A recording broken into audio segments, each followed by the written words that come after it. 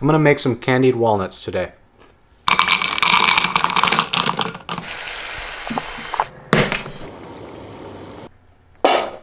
I just boiled them in water and now I'm gonna toss them with some powdered sugar. Just toss them with your hand and coat them nice until they're fully coated like this. Then just deep fry them.